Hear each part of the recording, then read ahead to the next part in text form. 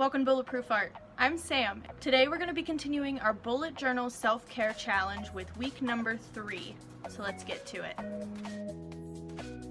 I'm starting off first by doing a weekly spread. I'm still pretty new at these, so bear with me. I'm only doing three days on this weekly spread though because I'm trying to separate Saturdays and Sundays. So I want Saturday to be the end of the week. That's why there's only three days for this week's weekly spread. Now I'm going in and writing in the days of the week, and I'm using like this stick type font.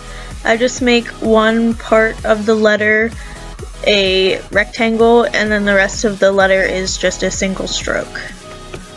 Now I'm coloring in the rectangle part that I had on for each letter.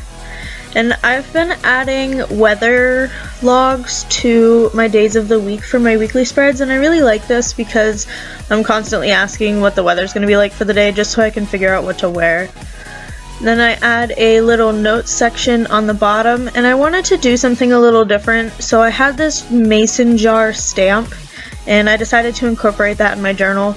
And I don't know what made me decide to draw lightning bugs, but that's I for some reason lightning bugs popped in my head and I googled a picture of it and I was like, oh, that's a little simple doodle I can do. So I decided to put lightning bugs inside my jar. It might have been the yellow. I think I was thinking of the color yellow and yellow and green kind of go well together. I don't really know, but lightning bugs in jars are adorable, so I'm using a gray Crayola Super Tip to color in the wings then I'm using a Prismacolor Premier fine liner in 0.005 to add the details of the wings. Then I take the 0.8 Prismacolor Premier fine liner to go around the outside of the jar, and for the rim edge of the jar I use a Copic multiliner in a 0.3. I go back through and add drop shadows to the outside of the jar, the notes column, and the bottom of the days of the week. Then I'm taking a light gray and a dark gray Crayola Super Tip to color in the top part of the mason jar. And then I'm taking my 0.8 and 0.005 fine liners and adding details to the inside of the jar. We're now moving on to week three of our self-care challenge. Week three's subject is psychological care. This is caring for your mind or your brain. Not many people know this, but your brain can actually get sick.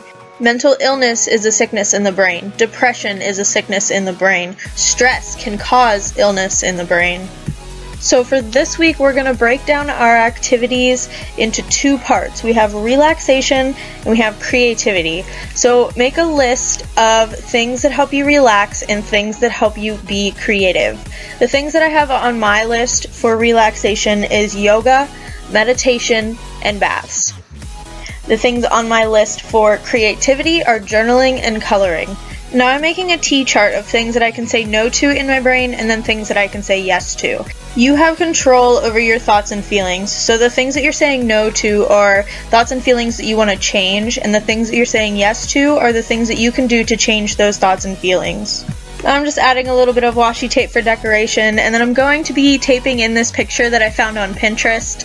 Um, it says be kind, and I thought this was really fitting for this week's challenge because we need to be kind to ourselves. We may have been holding on to these thoughts and feelings for a while, and it's hard to let go of something that you've clung to for so long. So be kind to yourself when you're trying to better yourself. Well, that about wraps up this video. I really hope you guys enjoyed this week's self-care challenge. If you did, go ahead and give it a thumbs up. If you did any recreations of this, tag me on Instagram at midnight period underscore period mind. I'll be sure to check those out if you did. Um, go ahead and subscribe if you haven't already. I post videos twice a week. Be sure to look out for week four. I'll see you next time, guys. Bye!